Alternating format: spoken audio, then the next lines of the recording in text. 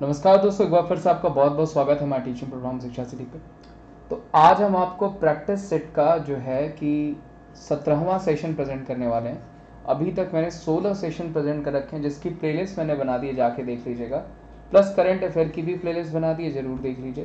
Plus जी जी के special topic मैं present कर रहा हूँ, उसकी भी प्लेलिस्ट बना दी है, जिसमें कल ही मैंने आपको अपकमिंग गेम्स प्रेजेंट किए वो भी जा करके देख लीजिएगा, क्योंकि ये सारे ही आपके लिए बहुत ज़्यादा इंपॉर्टेंट हैं। इनसे क्वेश्चन बनेंगे ही बनेंगे। और वीडियो अगर आपको जेनविन लगती है सेशंस अच्छे लगते हैं तो मैं आपसे यही कहूँगा, जो भी फॉर्मेलिटीज़ होती हैं, यानी जैसे सब्सक्राइब हो गया शेयर हो गया लाइक हो गया, ये आपके ऊपर है। अगर आपको जेनविन लगता है तो आप ज़रूर इसको जो है कि सब्सक्राइब शेयर और लाइक करिए। नहीं लगता है तो बिल्कुल सजेस्ट करिए कि और क्या क्या करना चाहिए, और क्या क्या चीज़ें इसमें ऐड करनी चाहिए, ताकि मैं आपको प्रोवाइड करा सकूँ। क्योंकि पढ़ाऊँगा तो मैं ज़रूर आपको। चले आगे बढ़ते हैं, पहला क्वेश्चन ले लेते हैं। पहला क्वेश्चन है कि दिल्ली में अलाउद्दीन खिलजी के शासनकाल की अवधि क्या थी? वेरी वेरी इंपॉर्टेंट देखिए, अलाउद्दीन खिलजी से क्या क्या क्वेश्चन बन सकते हैं? सबसे इंपॉर्टेंट तो अलाउद्दीन खिलजी से जो जो क्वेश्चन बनेंगे, जैसे कि अगर पूछा जाएगा कि बचपन का नाम क्या था अलाउद्दीन खिलजी के? तो जो एक नंबर का क्वेश्चन है, वो हो जाएगा आपका अली या गुरशास क्या हो जाएगा? अली या गुरशास एक नंबर का क्वेश्चन है जो कि पूछा जा सकता है. प्लस सॉरी का किला को पूछा जाएगा, या खामेद खान, जामेद खान मस्जिद पूछा जाएगा तो वह सब किसके द्वारा बनाया गया? खिलजी के द्वारा बनाया गया। ठीक है? ध्यान रखिएगा 1206 से 1290 तक जो कार्यकाल चला था, वो चला था गुलाम वंश का। ठीक है? गुलाम वंश का चला था, उसके बाद 1290 से 1320 तक जो चला था, वो चला था खिलजी वंश का। ठीक है? इतना समझ में आ गया? इस क्वेश्चन का आंसर हो जाएगा बारह से 1316 ठीक है? ऑटोमेटिक आप इसको एलिमिनेट करके भी कर सकते हैं, पूछा जा सकता है आपको। ठीक है? ध्यान रखिएगा। इस क्वेश्चन का आंसर क्या आ जाएगा? अलाउद्दीन खिलजी का शासनकाल तो वो बारह से तेरह तक चला था। इसके गुप्तचरों को बरीद कहा जाता था।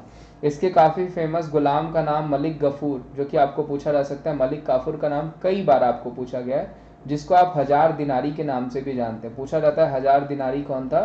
तो वो मलिक काफूर होता। साउथ इंडिया पे बहुत सारे साम्राज्य को जीता भी था।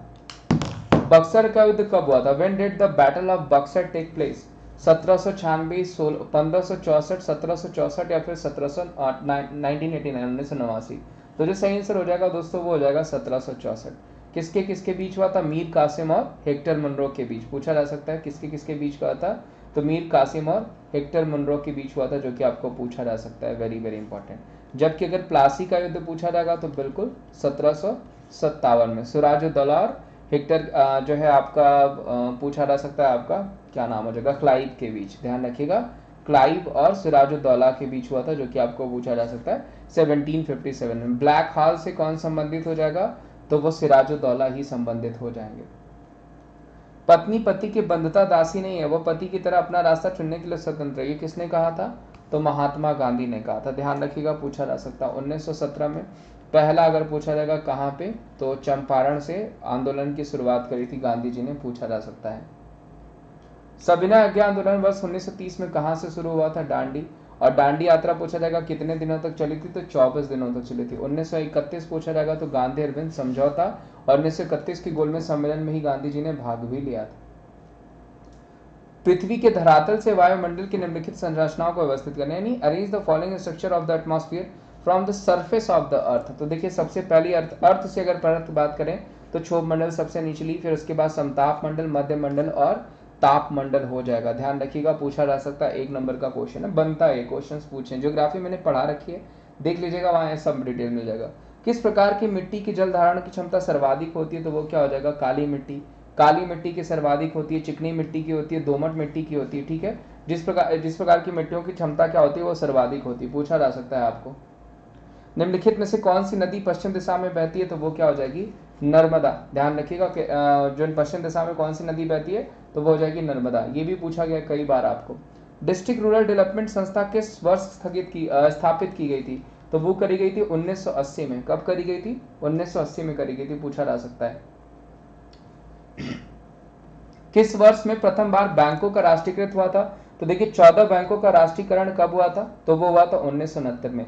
दोबारा छह बैंकों का फिर राष्ट्रीयकरण किया गया टोटल बीस बैंक हो गए, और दोबारा छह बैंकों का जो राष्ट्रीयकरण किया गया था, वो 1980 में किया गया था। ध्यान रखिएगा, चौदह बैंकों का राष्ट्रीयकरण सबसे पहली बार उन्नीस में, दूसरी बार 1980 में, जिसमें छह बैंक का राष्ट्रीयकरण किया गया था।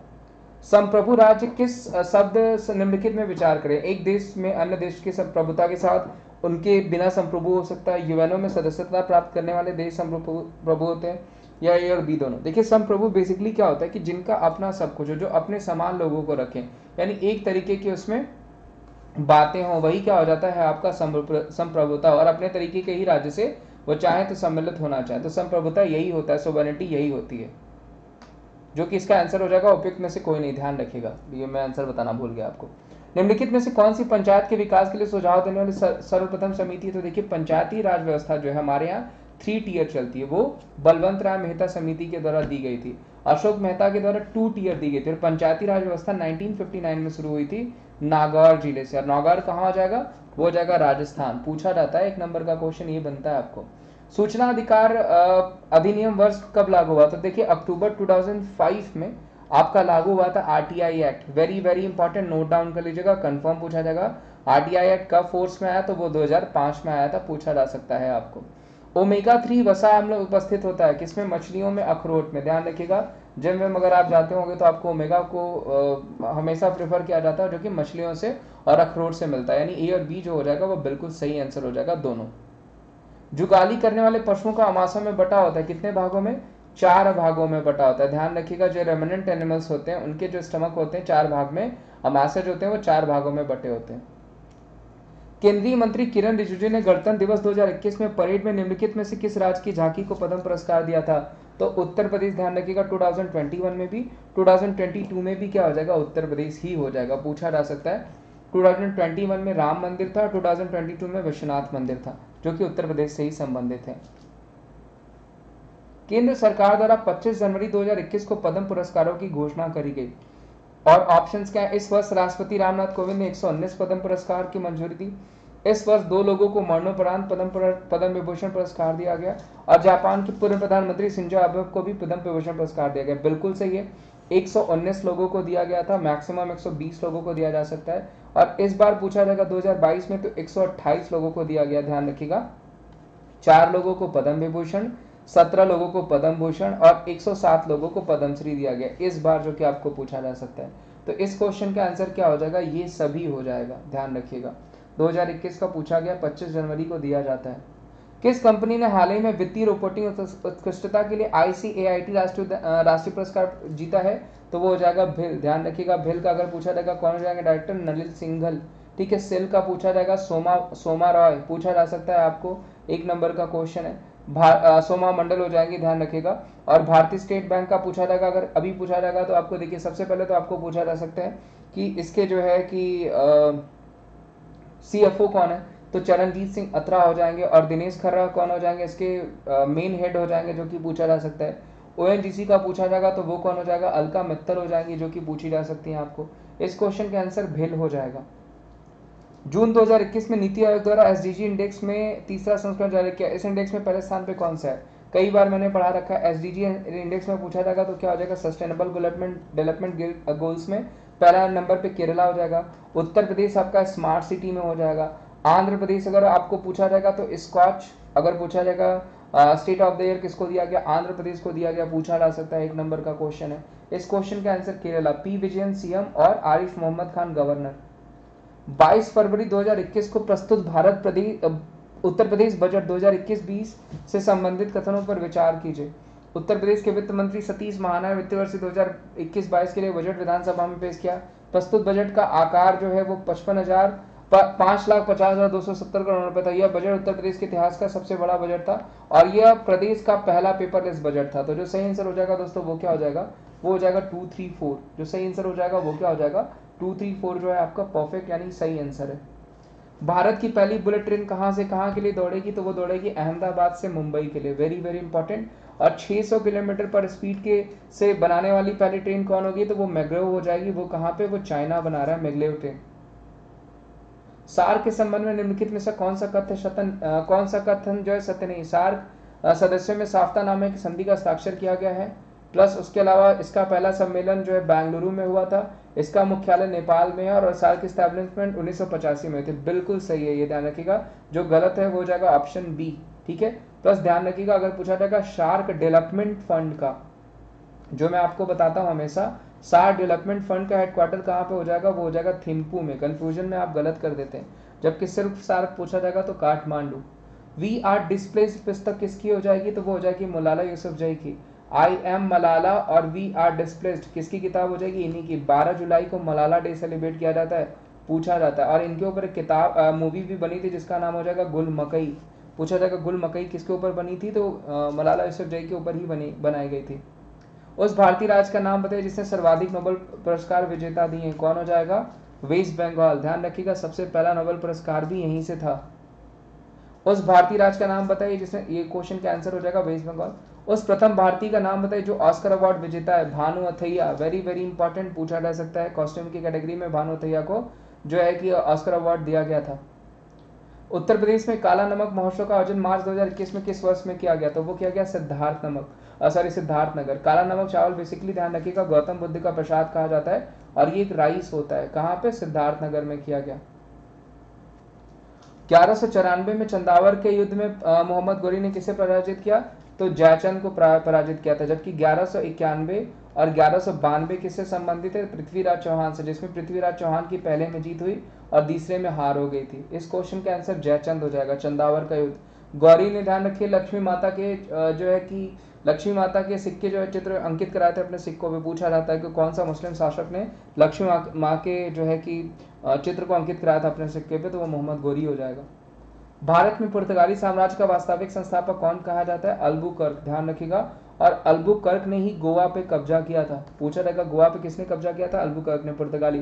पहला पुर्तगाली भारत कौन आया? वो हो जाएगा वास्को डिगामा कोचिन से। अगर पूछा जाएगा, पहला पुर्तगाली गवर्नर जनरल पूछा जाएगा तो वो हो जाएगा फ्रांसिस अल्मेडा। नोट डाउन कर लीजिएगा। पूछा जा सकता है। कौन हो जाएगा? Francis Almeida. इस क्वेश्चन के आंसर अल्बुकर्क। सत्रह में वेदरा की लड़ाई किसके किसके मध्य हुई? तो वो डच और अंग्रेज़ों के बीच हुई थी, जो कि पूछा जा सकता है। और अगर पूछा जाएगा कि वांडीवास तो वो हो जाया था 1760 में वो अंग्रेज़ और फ्रांसीसियों के बीच हुई थी, जो कि पूछा जा सकता है।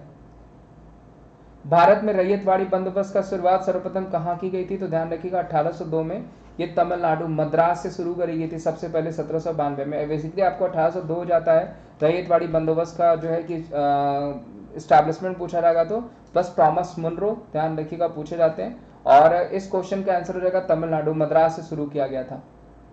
तो दोस्तों, ये आज के क्वेश्चन तो उम्मीद करता हूँ ये सेशन आपको अच्छा लगा होगा।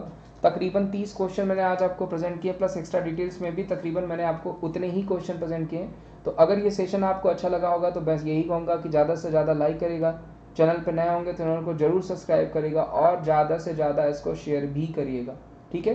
प्लस अगर आपको वीडियो अच्छी लगती है तो इसको फॉरवर्ड भी करिए लोगों तक, और मैं आपको ऐसे प्रैक्टिस सेट्स प्रेजेंट करते रहूँगा। प्लस अगर आप अन अकेडमी ज्वाइन करना चाहते हैं फ्री क्लासेस के लिए तो अन अकेडमी एप्लीकेशन इंस्टॉल कर लीजिए। एप्लीकेशन इंस्टॉल कर लीजिए प्ले स्टोर से, जहाँ पे मिल जाएगा। प्लस आपको कोड अप्लाई करना पड़ेगा विमलीस एट द रेट फोर्टीन जो कि आपको हर पेज पे दिख रहा होगा। मेरे हर पेज पे आप देख रहे होंगे, दिख रहा होगा। उसको अप्लाई करके आप फ्री क्लासेस देखिए इन फ्यूचर अगर आपको लगता है कि फ्री क्लासेस अच्छी लग रही हैं तो आप पेड क्लासेस के लिए जा सकते हैं, ठीक है? और पेड क्लासेस जो है, आपको बहुत सारे बेनिफिट्स देती है। जैसे उस कैटेगरी के सारे एजुकेटर्स फ्री हो जाते हैं, उनके टॉप बैचेस उनके बैच कोर्सेज टेस्ट सीरीज़ हो गया मॉक टेस्ट हो गए प्लस आपको कॉम्बैट भी हो गया हर संडे को होता है ऑर्गेनिक फीचर्स आपको मिल जाता है। इकोनिक फीचर्स में क्या होगा? कि आपको एक्स्ट्रा जो है कि फैसिलिटीज़ मिल जाती हैं, उसमें भी कोड सेम ही यूज़ करना होता है विमरीस एट ग्रेड फोर्टीन जिससे आपको ट्वेंटी परसेंट का ऑफ़ टेन परसेंट का कोड से और टेन परसेंट का कॉइन से ऑफ़ मिल जाता है। तो आज के लिए बस इतना ही। थैंक यू सो मच अपना ध्यान रखिए। मिलते हैं हम आपको कुछ और सेशन के साथ और करंट अफेयर और स्पेशल जी के साथ। तब तक अपना ध्यान रखें। Thank you so much bye take care